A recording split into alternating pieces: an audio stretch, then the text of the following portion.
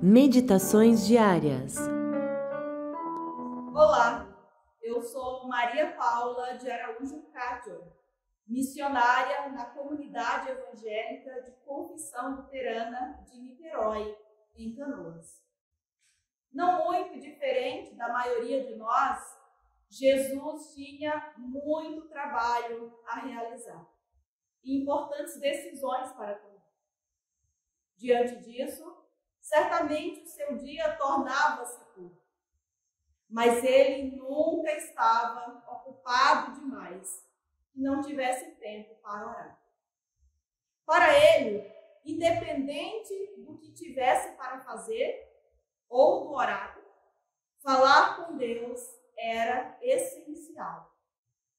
Nos evangelhos, é possível observar que antes de episódios importantes de sua vida e ministério, ele separava um tempo para ficar a sós e orar. E não poderia ser diferente no importante momento da escolha dos doze apóstolos. Lucas narra que naqueles dias, preparando-se para escolher seus doze apóstolos, Jesus se retirou para o monte a fim de orar. Passou a noite orando a Deus. Eu não sei você, mas houve momentos em minha vida em que eu falhei nesse ponto da vida cristã. Achava que eu tinha tanto a fazer e não tinha tempo para orar. Motivo pelo qual muita coisa não acontecia como deveria. Sobre isso, o Lutero afirma: tenho tanto trabalho para fazer hoje que, primeiramente, devo orar por três horas, a fim de poder terminá-las. Tempo utilizado em oração dificilmente nos é prejudicial.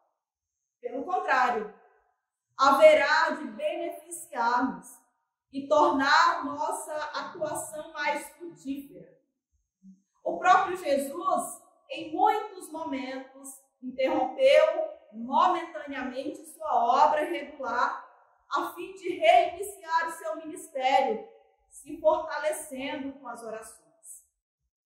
Com isso, antes de tomarmos qualquer decisão, devemos colocá-las diante do Senhor em oração que as ações do nosso Jesus nos inspirem. Consagremos os nossos planos a Deus em orações e eles serão bem-sucedidos. Quero concluir citando o Salmo 62, o verso 8, que diz: Confie nele em todo o tempo, ó povo. Derrame diante dele o seu coração. Deus é o nosso refúgio. Que a minha e a tua confiança estejam sempre firmadas nesse Deus e que Ele nos guie e abençoe as decisões que temos para tomar. Amém. Meditações diárias. Todos os dias, uma reflexão da Bíblia para fortalecer a fé.